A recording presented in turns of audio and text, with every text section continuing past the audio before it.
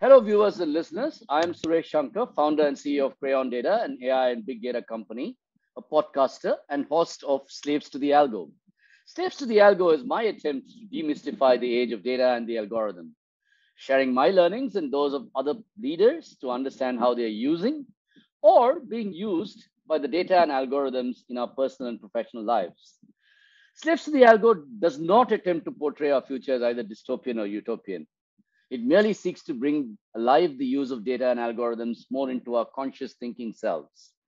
And today, uh, it's interesting because I'm talking about a completely different area where data and algorithms are seemingly taking over that world. And that world is the world of sport. And nowhere is the use of data and algorithms more intriguing in some ways in the world of sport because traditionally, success in sports is always about talent and hard work.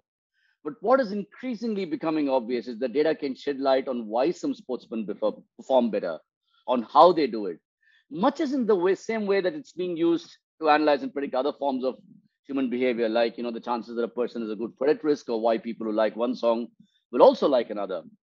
And that, my viewers and listeners, is a thorny issue because we've all been brought up to believe that sports is the last frontier where purity of personal will is the only determinant of success and to examine how data and algos are increasingly becoming the currency of the world of sport, both on and off the pitch. I am delighted to have today as a guest Unmish Parthasarathi, founder at Picture Board Partners.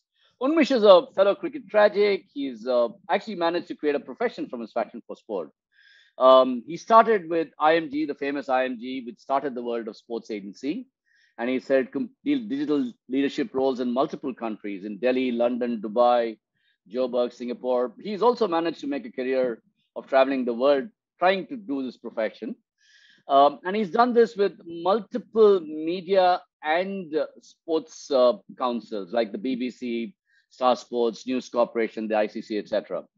And uh, Unmish likes to describe himself as a person who brings together three C's content, code, and commerce. Our focus today is where does the code drive the content and the commerce? And currently, Unmish has founded Picture Board Partners because, like he said, he said, let me make a billion instead of just the sportsman making the billion. And it's a practice that's in the GEMS sectors gaming, education, media, and sport. And he works for clients like the ICC, the International Cricket Council, One Championship, people like Twitch and gaming and Microsoft and, and food channels. And, you know, you name it, he's, he does it. And uh, his name is Parthasarathi, and he used to travel a lot. And the fun fact is that uh, some airline crews actually learned to pronounce that name. Welcome to the show, Unmish. Suresh, thank you very much. Thanks for having me. Um, we have taken the field uh, often in the background right behind me at the Padang in Singapore. Uh, a big fan of you both on and off the pitch. So thank you very much uh, for having me here. That's very nice. And I was just going to remark on that, that that piece of land out there is probably one of the most valuable pieces of land in the world, sitting in the heart of Singapore. And it's such a wonderful thing to play cricket out there, like uh, Unmish and I have for, for many years. Anyway, uh, Unmish, I like to start the episode always by asking guests a slightly more personal question. I mean, while we're all professionals and we're affected by developments in technology and data, we're also affected as individuals by developments in AI. And can you share with us some example of a great algo that you've come across that's impacted your life positively or negatively? And in your case, I want you to restrict it. Don't tell me about the Amazon recommendation. I want you to pick something from sports that you just absolutely love or hate. I'm going to give you mine to kick this off. I heard that just before the Rio Olympics, the British cycling team did something and they figured out that if they heated their shots, they get a 4% improvement. They got a 4% improvement in performance, right? So, what's your favorite algo in sports? There are enough people who can actually perform better if the heat is in the posterior. So I think that's a that's a that's a fair call. Look, you know me long enough, Suresh. I don't take myself seriously, but I do take my work extremely seriously. Uh, and so I'm going to give you three, and I talk in threes, as we'll see in the course of the next 45 minutes to an hour. I'm going to give you two sets of triplets. At a personal level, the three things which have sort of transformed my life. One is LinkedIn. You know, I was an early adopter, which is very rare for me on technologies. I adopted it in 2000 and four, three at business school, way, way back. And today, you know, it's, a, it's my only social media network, and it's phenomenally useful in terms of the information it provides, the how I connect, and you know, to your point on the last podcast, where relevance leads into ecosystems and it has a multiplier effect. Huge, huge piece. Second is Google Alerts. every time I'm tracking a particular issue or a particular client or a particular partner uh, or a particular organization, Google Alerts has been tremendously useful in a very time efficient way uh, to be able to sort of help me with that. And lastly, something which you may or may not know, I don't have a driving license. I don't drive. And I haven't for over a decade, uh, uh, whether it's a Tesla or or something else. But um, my wife, in her eternal wisdom, and I'm very ever grateful, gave me a, an app called Go There, which is a Singaporean app called Go There, which allows me to work out from A to B. And the public transport is very good in Singapore. So whether it's by uh, by taxi or by bus or by train, as the case might be. So that's the only reason I get back home at night.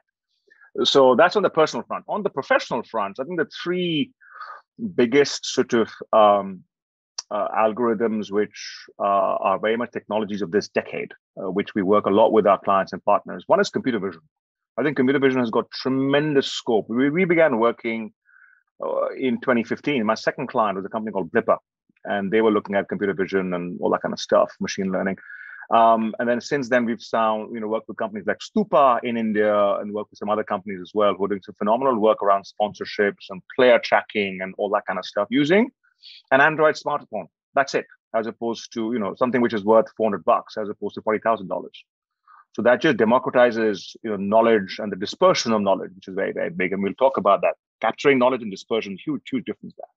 So computer vision is one. The second is I think uh, what I broadly call mixed reality. I wouldn't say augmented or, or or virtual as the case might be, or or the M word, but but you know I, th- I think mixed reality has got tremendous applications um, you know, whether it's security, whether it is in surgery, as the case might be, but also in terms of sport, both on and off the pitch, you know, for the athlete and for the fan, as, as we probably will talk about. And the third piece is machine learning in the audio space.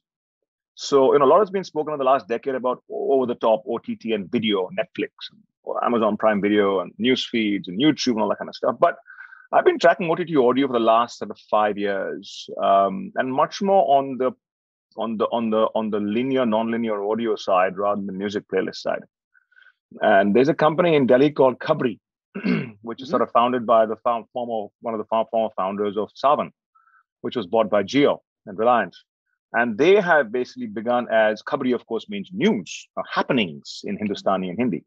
But they pivoted during COVID into an education business. And if you look at, mm-hmm. you know, the, the, the, the, the negative correlation between literacy and education, especially in emerging markets where you don't have to be literate to get become educated huge huge massive impact so computer vision in terms of you know all the sort of elements you can provide around sport performance sponsorships all that kind of stuff mixed reality in terms of providing and engaging millennials such as you know and, and gen z's and i think we have a sample size of one living with us as our daughter uh, and and machine learning but more on the ott audio side so those are the sort of three things that are a big focus for us uh, for this decade as well and that's um, an extremely interesting thing, including the fact that I just discovered that you don't drive. You used to be able to play the cover drive well, though. So that is at least one drive that you could play. Um, well, let, let, me just say this. Com- let, let, let, me just say this. Uh, being a always, I've always driven on the right side of the road, uh, and the left hand is very important on the gear shift. Unfortunately, doesn't that doesn't translate to my batting. So the bottom hand is too strong. So the cover drive is, you know, I, I appreciate the compliment, but uh, you know, I, I, it's uh, it's it's been a rarity occasion anyway, to come back to, I think uh, one of the things that you picked about is just computer vision, right? And you know, uh, I think when I look at algos and data and sports, you know, broadly, I think there are multiple ways in which it impacts it. One is what I would call um, when we discuss this, you know, the on the pitch. How does this actually influence the way coaches, players use it to improve performance on the field of play in different sports? And the second one, obviously, is the increasing use of data and algos off the pitch or off the field which is the commercial aspects of it. How are people, you know, value being placed on things, etc. And perhaps you know we should uh, start with the on the pitch side of this because that's really where I think the whole clash between, or is there a clash between man and machine, data and people come in, right? And one of the things, like I said, in, in, you know, you talked about computer vision, and we live in an era where you know digital technology is like you know people are basically filming everything in sport, and a coach has today. Earlier, a coach would be basically driven by what he saw with his eyes and ears or her eyes and ears. Now we have a battery of coaches, but now we have another set of eyes and ears to improve team performance, spot something, how are people playing something, when should a person be pulled off, like let's say a football thing and when should a person be you know substitute be brought on etc so what kind of can you give us some examples of various sports of how computer vision or this whole analysis is being used to actually improve on-field performance so no great question so uh, let, us break down the the on-field piece into three things right i think there are three pain points or objectives that algos can provide as far as the on-pitch um, dynamic of sport is concerned. One is discovery. You know, how do you discover talent or elements of talent? You know, I was reading an article about the IPL auction. Who can actually play the googly better? And who can play the googly better in the first six overs or in the power play than afterwards? You know, that's discovery. And, and you, you find somebody from way beyond because of the data saying that these guys actually are better against left arm spin with the new ball coming around the wicket. So I think discovery is one. I think refinement is the other, where once you've got the talent, you burnish the talent. You know, you polish it to make it make it match ready. And then the third aspect is performance, because just as you as a batsman or a bowler uh, have access to eyes and ears, as you say, so does the competition. So, you know, how do you continue to evolve as a player, as all of us have to, as professionals as well, and, and individuals and persons in life as well? So I'd say discover refine, compete, or discover, refine, perform. I think those are the three primary buckets that that typically sort of tend to situate the on-pitch use of data and algorithms. And when you look at that, so for example, let me take the perform bit because that's the one that's interesting to me. Um, let me take um, you know cricket, which is a game we both play, and you know today in many of the things people are being told we've extensively analyzed this batsman, we know that if he comes on a play, you got to bowl a particular kind of bowler against him, or even tell a even it's not just the left arm spinner, bowl the ball just at this particular length on this particular line, keep it there, and you know he's going to make a mistake. Um, on the other hand, the batsman's going out there. I presume the batsman side, as you're saying, is also telling him, listen, you don't do this pretty well. Watch out for something that comes in. This is where the bowler likes to bowl to get it. Now, in a way, um, you know, like I said, this goes against a fundamental skill that as a player, and again, it doesn't matter whether it's cricket or football, I'm getting out there and my feel for the game. I mean, I know all of this. My mind is also already a, a supercomputer calculating all these odds and, and adjusting it to play, right? So where does the the data in this help and where does it also start to hinder performance? How much do I get messed up in my mind because I know the bowler is going to do this, or you know, take a spot kick. I mean, like, you know, everybody's told the goalkeeper goes one way, the goalkeeper goes another way. How much, where does all this, like, you know, like I said, the use of data help you? Where does it, you know, hinder you as, as an athlete? So I think, I think there, there's a, there's a balance between uh, intuition and insight, right? Fundamentally. Uh, and intuition is something where there's muscle memory, uh, which is important, right? So, you know, how do you, as you said, hit a cover drive, or how do you get the corner of the of the goalpost when taking a spot kick. The, the inside bit is how you actually manage your intuition and your muscle memory in a moment where it's not muscles, but it's actually the nervous energy and the moment which actually is creating a lot of noise for you. So I, you, you need to situate the ability to perform an action as opposed to bringing that action to bear to achieve something in the moment. You know again if you break it down from intuition to insight it, it makes a lot of sense. It's like a lot of good students are not good examiners but a lot of high achievers in a highly academic environment are good students and good examiners. Classic example right so uh, and if you, and i'll give you two other examples to sort of compare and contrast this right? The heart and the mind kind of thing. If you look at cullinan and Warne famously was Warne's bunny right? That battle was lost in the mind very early on. And this was before stump microphones went up and the legend of Warne was there and all that kind of stuff happened. If you look at Warner and Broad, you know, he's been working on him in different ways, on different kinds of pitches, in different kind of countries, um, around the wicket, over the wicket, you know, whether it's just short of length, whether it's going across him, sort of full length or a short ball, and how you set him up. A lot of times people tend to forget that dismissal in cricket is not a silver bullet it is some of the parts of what preceded it. I was just watching the uh, India England under 19 uh, final last night. And there was a very crucial wicket that happened where the English player who's batting number four got 95, had taken the score from nothing to something. The opposing batsman had a maiden over. And the first ball of the next over, this guy got out, and that just turned, turned the match. So instead of chasing 180, 190, it became, or instead of chasing 260, 280, it became a 190 chase. Huge difference. So the point I'm trying to make here is that intuition is important, insight is important. The only difference is that insight allows you to zero down on a particular moment in time with a certain set of circumstances which are predefined. And there uh, that's where data comes I'm, I'm, I'm, I'm kind of trying to narrow in on a little bit of sharply on what you just said right? I think we've always known that right? We've known that some people are certain bunnies even without before even anything like data existed. I knew when i went out to bat that some guy is going to bowl like this or when i'm bowling that some guy prefers to play it out here so you have your own set of data in the previous world which was based on some level of observation with your eyes and ears what seems to now have happened is that you are supplementing that with a huge amount of actually computer vision and analytical data saying this is yeah. exactly what's happening, right? Yeah.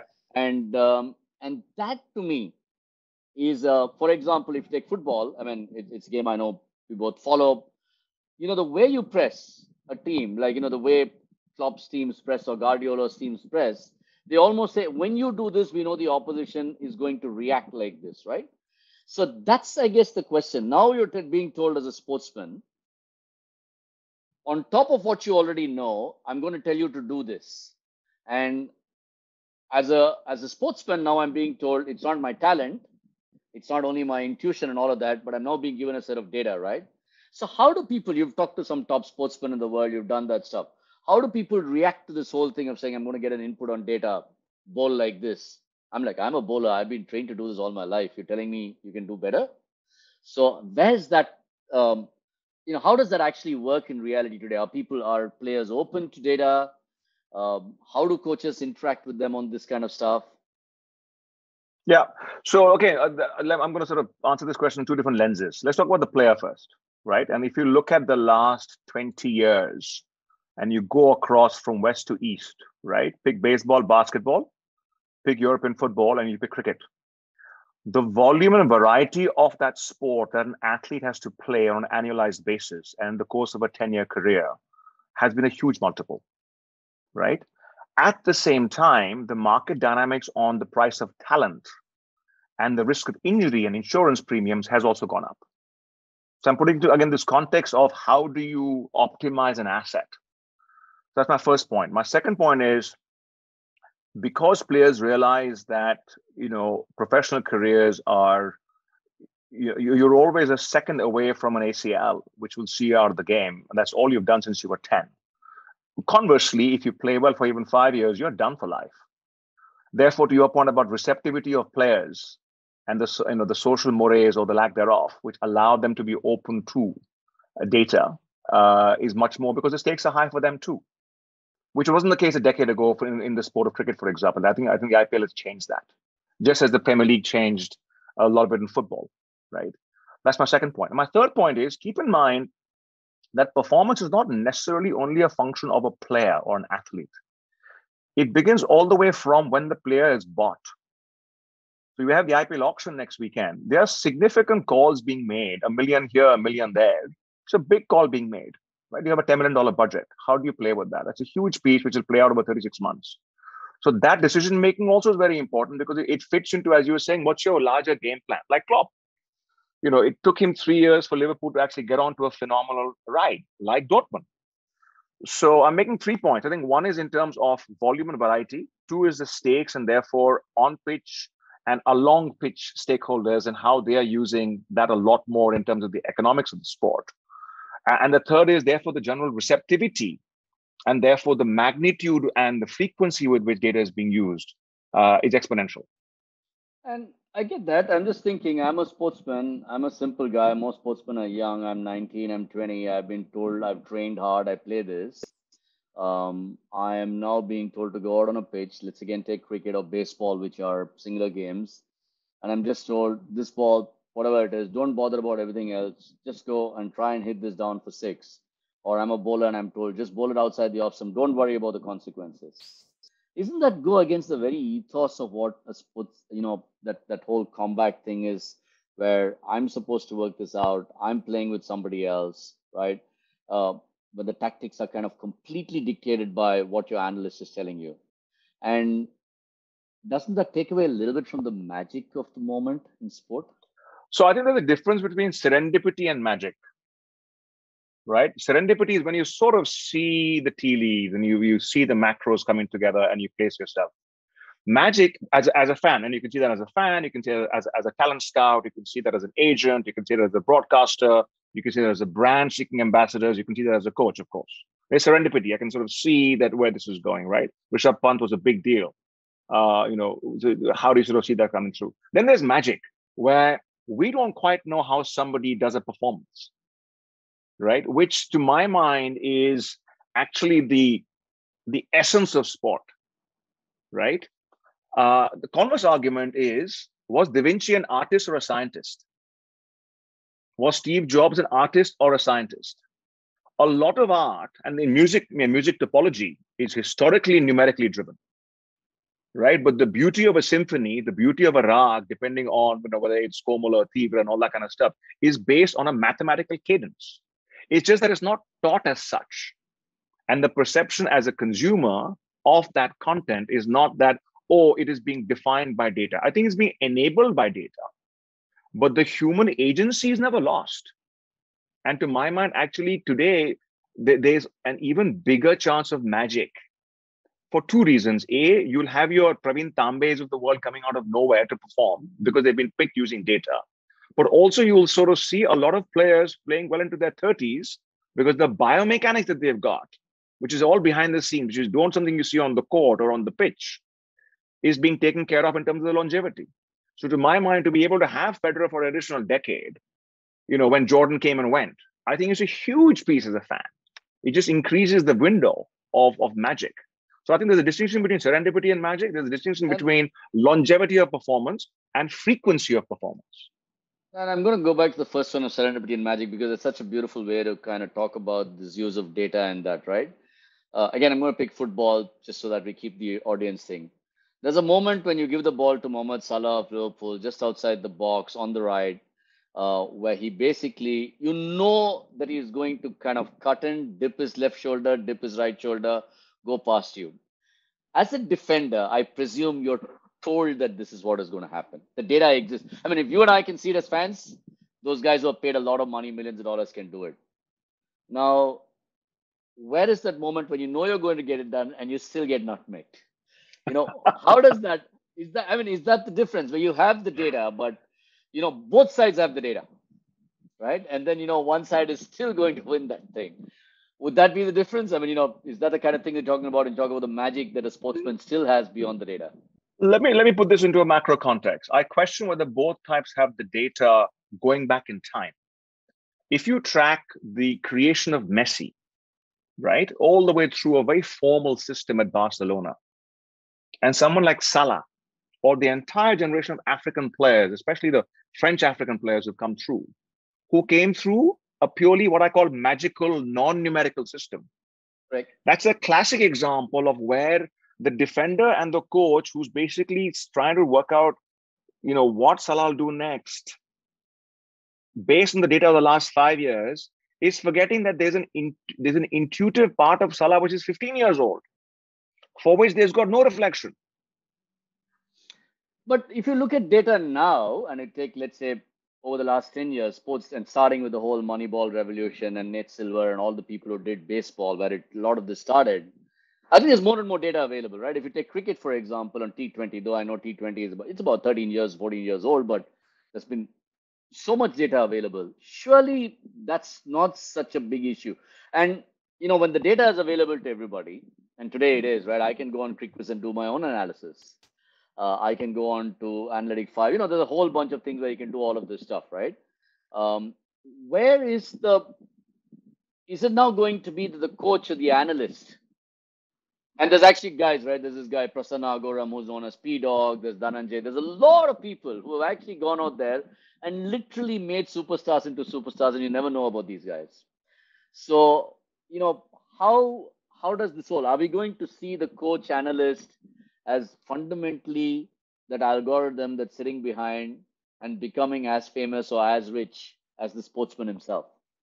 Great question. And uh, again, I, I, I would, I'm a very, I'm a very one-dimensional person, so I will go back to cricket, and I'll make two points. One, if you look at you know the recent Ashes series in Australia, and a lot of the press coverage after that, you know the argument has really been: Have we gone too far on the data to ignore the individual performance, which is intuitive and in the moment, especially for a format like Test cricket, which over 20 hours has a cadence like no other sport? uh, compared to Peter Moores, who famously gave this one-line answer in a press conference, which led to him eventually you know, exiting as England coach, saying, "I'll have to look at the data." Which you know, it, it, always happens in the cadence of the adoption. You know, sort of you certainly have the early majority, and then when, you get to the late majority, there's suddenly a bit of a recalibration of saying, "What is this mix that we're looking at?" Uh, and, and so long as there's sanity in using that, uh, and by, by sanity, I mean sporting sanity, commercial sanity, and psychological sanity, then it makes sense. My second point is I've got a quiz question for you. I'm wearing a t shirt with an equation. I was going to ask you about that one. is, that, is, that where is that where the IPL auction is going to be held? I mean, is that no? It's not. This is an equation which is more than two decades old. Mm-hmm. This was an equation which was used at the 99 World Cup. This was an equation which began with deep research of two academics, and then they actually add, had to add a third academic. Hmm? This is the Duckworth-Lewis Stern equation. Is that so? Okay. Right. So this is the Duckworth-Lewis Stern equation, especially for you, Suresh, especially for sales slaves for That's interesting. That's interesting. Right now, you think about what I said about sanity. You know, sanity of, or you know, sporting sanity, commercial sanity, and the psychological sanity of a player because people forget, you know, a lot of sport, a lot of memories is of a shelf life of someone who's not thought of anything but that sport for 25 years, has been tremendously lucky on multiple angles to give us those magic moments. And then they go away. So the sanity of the of, of the sports uh, of the athlete is very, very important. Now, Duckworth-Lewis is fundamentally defined to impact rain impacted, to, to solve for rain impacted matches at the 1999 World Cup in England, which was held in the month of May, June. And at the time when you know rain was still a big factor. And i think all of the games were day games if i recall correctly. The lights weren't quite there by then. So this was about how algorithms and maths allows you to provide sanity across the board for the player for the commercial partners for the fans you know for the government supporting and all that kind of stuff so i think there's a balance as i was saying on the ashes piece where there's going to be a correction you know they're talking about you know, doubling down on the red ball, but it fundamentally means that you're doubling down to a far more sophisticated cadence. You know, it's like being a hedge fund using data as opposed to doing uh, an asset manager doing a block trade. You know, hedge fund is from the margin, very reactive, all that kind of stuff. Block trade is fundamentally it's a strategic play. Underlying both of these these trades is fundamentally maths and a lot of money. You know, we in the in the last two years have probably advised five different clients on block trades, which is interesting. You know, they're making big calls on certain technologies in the sort of gaming, sport, media space, and saying how you know we've done the model. Come and pick holes in our known unknowns. So that to me, you know, that, that's kind of important because that's a sanity from an investor perspective. Well, there's an extremely fascinating thing by the former Greek um, finance minister who actually, for a period of time, used to advise this gaming company called Valve about how exactly the use of, um, let's say, how people put in these things like digital hats and swords and how you know these trades happen and how economic value is placed. So clearly, um, there's a whole bunch of data that's going into practically literally every industry. Uh, and it, but but I, I come back to: Do you believe that magic is being lost with the use of data, or do you think that actually it is being enhanced by the use of data? Um, simple question. Uh, magic is being lost and created. For every for every moment when you have a broad working out of Warner, who to my mind is a phenomenal cricketer. Don't forget, he came in through the IPL route to make a mm-hmm. phenomenal test career. Right. So even the most numeric system like Sheffield Shield cricket and the great cricket in Australia you know, who were amongst the earliest adopters of data, couldn't find him. And then, you know, it was really IPL was a surface hit. On the other hand, you know, magic is being created. Magic is being created by the different kinds of uh, plays that that uh, different kinds of coaches using players of a very variable talent level are being able to create for the fan, which I think is very important for the sport. For any sport to be able to come up with a consistency of magic moments is fundamental to the economic value and the societal impact that that sport has. So on the one hand, the, the traditional magic is being lost, as you said, you know, which is which is very much the this is art, not science. But on the other hand, I go back to my point about topology of music, you know, or the use of 3D printing in ceramics and sculptures, where you're using science to create an expression which would not have been possible had it not been for the data and the underlying technology which is creating it. To come back to one last question that I think uh, on the on the pitch side, and I think this is um, um, kind of very relevant to a lot of fans who follow cricket. And this guy is probably one of the, the best known sportsman in the world, though he plays this game that's called that's not known in many parts called cricket, which is um, Dhoni. I have not seen a person. Do you think Dhoni uses data? I mean, first of all, do you think he even looks at the data? because he doesn't seem to look at anything except I'm just going to be calm no matter what happens. I'm not going to change my formula. Uh, look, I mean, I'm not going to do anything I, differently. I, am a huge fan of him. I was fortunate enough, I think so were you, to be in Wankhede in 2011 uh, for the World Cup final.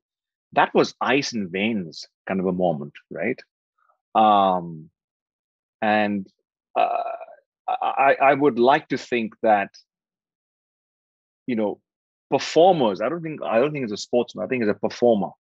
I think performers are on a different level you know they don't necessarily look at you know intuition or insight or instinct like we do as in a discrete piece you know they, they just they just compose a symphony by just picking things out of out of thin air uh, so i'll give you an example was the decision to promote himself ahead of Yuvi? You know, was he sitting with a calculator and Gary Kirsten and Paddy? No way, right? I was at the IPL uh, semi-final this this year, uh, last year in Dubai, and he came out ahead of Jadeja with three overs to go. And I'm like, he's lost it. What's he doing? He's not the guy he was. And he made 16 runs in four balls, right? like, but you know, and my whole point is, you know, 16 runs of four balls, as he quite rightly said, as opposed to whatever he made 80 yard or 70 yard in the World Cup final, uh, which is a very different piece altogether. But my point is, you know, performers at that level are like performers at most levels, be it, you know, entrepreneurship such as yourself, be it medicine, be it defense, be it education.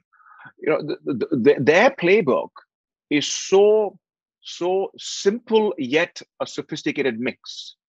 It is sophisticated in the value that they are able to create, and is simple in terms of them being able to explain the capturing of that value.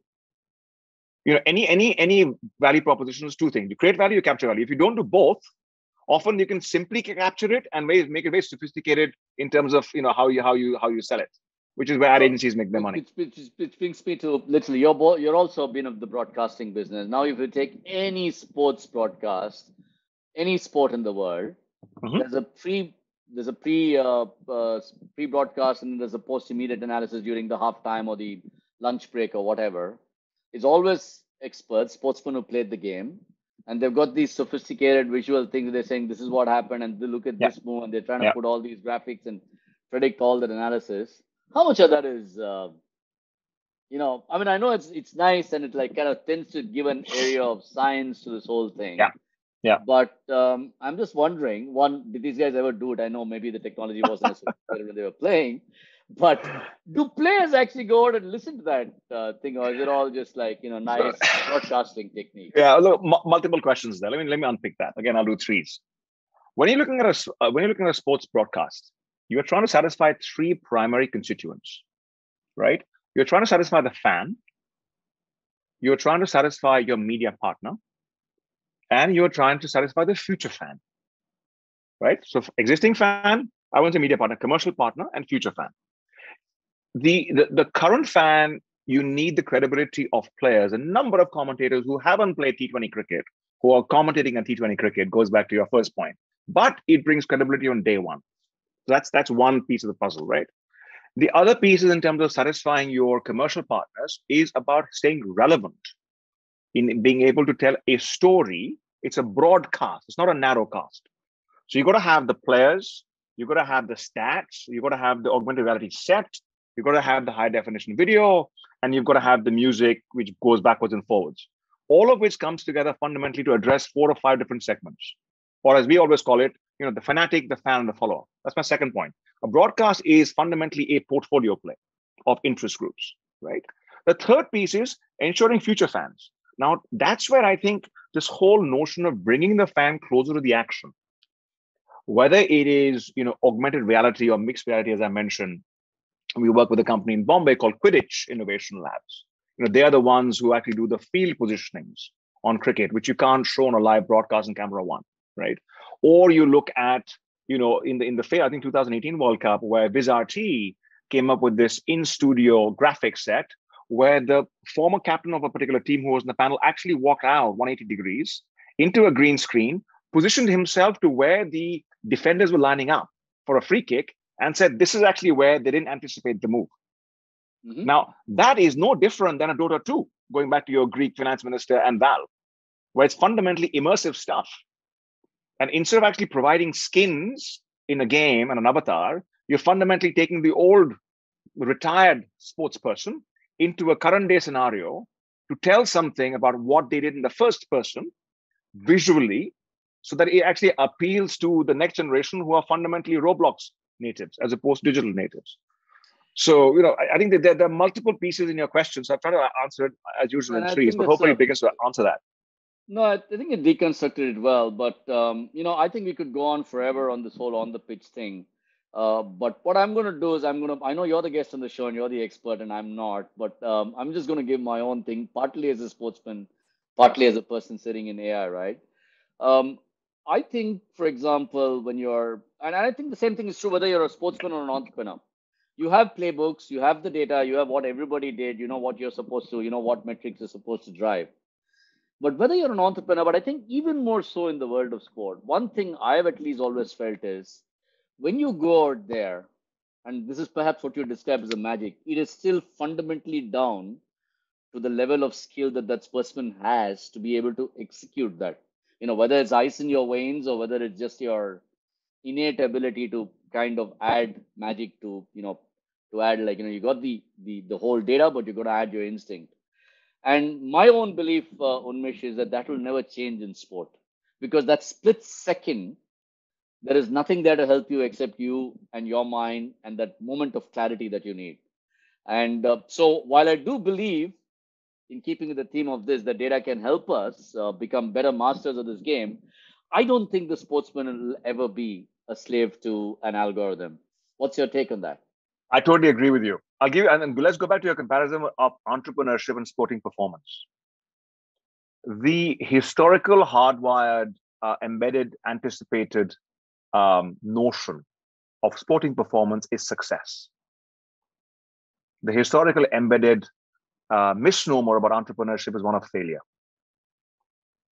If you look at the lack of structure in entrepreneurship and sport, it is the same. If you look at the maths involved in terms of somebody from Ranchi, you know, playing a phenomenal World Cup winning innings in 1980s India, but 20 years later actually being king of the castle, as opposed to, you know, Suresh Shankar leaving behind a phen- phenomenal advertising career, starting something called Red Pill and having an exit. But the numbers don't stack up, right? But inherently, there's a sense of expectation of success in a sporting performance, which is where the magic comes in, right? Why is entrepreneurship today success, uh, uh, socially acceptable in, in India? because there are enough role models. I like the way enough role models. Me and Dhoni in the same sentence, but that's okay. I'll take it. Well, you know, it's kind of uh, I've, uh, I've covered one and I've played with the other. But I, I think the notion really is the notion really is that it is it is it is the power of an individual and the ability of the individual to read the tea leaves. Going back to my original point, and create value and capture value in an institutionalized manner, right? Which is the same in sport it's totally unstructured data. There is no pathway to success. There are many playbooks which are ma- massively subjective. Um, I, I, I, have this big emerging theory that the playbooks of data and sport for male sports is not going to be the same in female sports. And it's been proven in golf, it's been proven in tennis, it's going to come to team sports. But the, my point is, I'm agreeing with you that, that the expectation of magic uh, and the idea of intuition overriding insight every time in sport will continue. Sport is unscripted drama. Entrepreneurship is an unscripted career. If I join a co- corporate career as an analyst, I know that in 20 years' time, play my cards right and luck is on my side. I can be a CEO. Yet There's no guarantee in that in entrepreneurship or sport or any performing art. Yet today they're trying to script uh, even how scripts are written and like you know what the magic formula for all of that is.